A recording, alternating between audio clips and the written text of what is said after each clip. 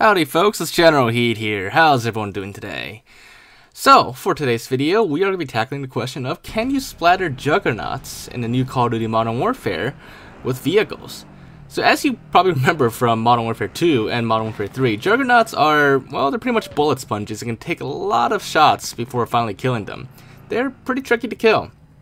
But now that we have vehicles in Modern Warfare, and you saw my remote control vehicle video, you can use vehicles to sneak up on enemies without them noticing you and run them over. Well, as you can see, we tried to sneak up on a Juggernaut with a Mongoose, um, with the, uh, sorry, I play a lot of Halo, but with uh, this little vehicle here, and as you saw, take a look again in slow motion, you know, the because we're doing the remote control vehicle glitch, AIs won't, you know, detect a vehicle, they won't even see you coming. But if you try to splatter the Juggernaut with a vehicle, even though your vehicle's at like full health or near full health, it it just blows up. The uh, little four-wheeler here just explodes instantly. You may or may not die as well or get downed. And my teammate went full speed, also doing the glitch, into the Juggernaut.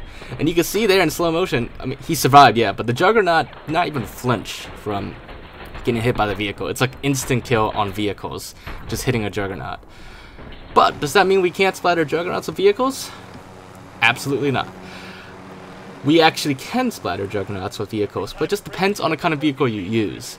Now, I have not tried it with every single vehicle in the game because some Spec Ops missions are kind of hard to get certain vehicles against juggernauts without, you know, other enemies getting in the way or you dying or the vehicle getting blown up and such. But we did try the helicopter and with the helicopter, all it takes is a very slight tap from the helicopter, and the Juggernaut gets thrown back a bit and dies instantly. So, basically, for those of you who played Halo, the helicopter, the chopper, is kind of like a Halo 1 Warthog, where a slight tap kills pretty much everything instantly. Very realistic. but, anyways, uh, I'll show you guys again in slow motion, just so you notice the helicopter hitting the Juggernaut and nothing else. Uh, but like I said, I haven't tried with every um, every vehicle yet. There is there are some vehicles that may or may not work better than others, but the uh, the ATV or rather the four wheeler that one definitely can't splatter juggernauts. The chopper can. Um, I'm not sure if the tank or the uh, the other there's like one other vehicle I don't remember what it's called off the top of my head, uh, but I'm not sure if those two can or not. But if you guys do try it, are able to try it out, and it does work, or if it doesn't work, feel free to let me know in the comments below, so we can complete this uh, little mini list of vehicles that can splatter juggernauts.